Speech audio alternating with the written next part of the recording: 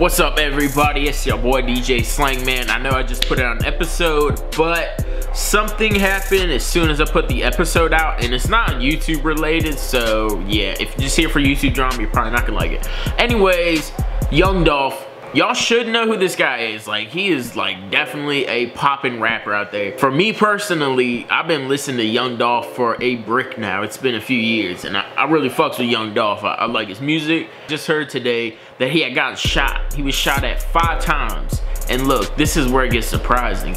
He wasn't shot at in the hood. He was shot in Hollywood, in downtown Hollywood at a mall. So for someone to pull up on him like that, they clapped at him, man, that just shows someone wants him dead. Yeah, the video clip is right here.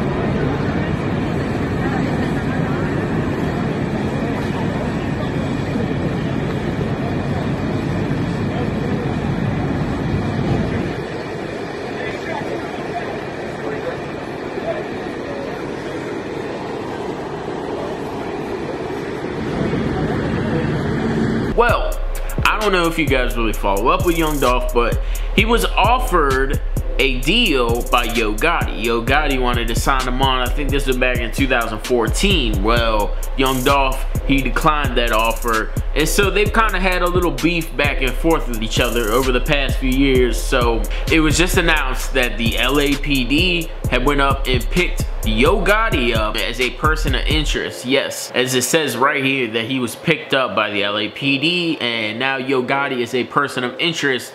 They were both at the same hotel and you already know off the break, if you're a manager, you should know not to book two people that have beef with each other, especially when they about that life, or that's what they say they are. So whoever did that was just stupid off the break.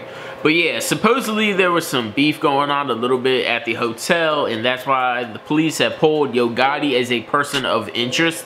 Now, there's gonna be some crazy shit, man. If if Yo Gotti really did put a hit out on Young Dolph, I mean, yeah. The rap game already has a bad reputation.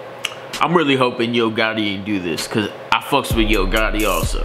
But like I said, I fucks with Young Dolph. He's probably one of my favorite artists.